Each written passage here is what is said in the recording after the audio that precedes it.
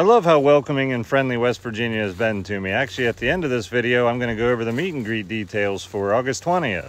Getting recognized in West Virginia doesn't surprise me much at all, but what did surprise me was when I was out in Washington State, tons of you guys came up to me. It wasn't just in the populated places, although I got recognized on the plane, in the airport, running through the airport to catch a late flight. But even when I went to remote state parks or climbed up on a tiny little mountain overlook, there was totally a guy sitting there watching one of my videos. Me and Jen were talking, and all of a sudden I'm like, wait, I hear my voice. A guy was sitting watching my videos on a bench, and we walked up to him and said, hey, who are you watching? He turned around, looked at us, and he's like, you guys. Anyway, if you see me out somewhere, don't be afraid to say hi, but if you don't, I'll be at Charles Fork Lake on August 20th, and I'll be there from approximately 1 to 2 p.m. And if that little pavilion's empty, I'll hang out in there because it's probably going to be hot. Sometimes you guys come from far away, and if that's the case, I'll hang out even longer.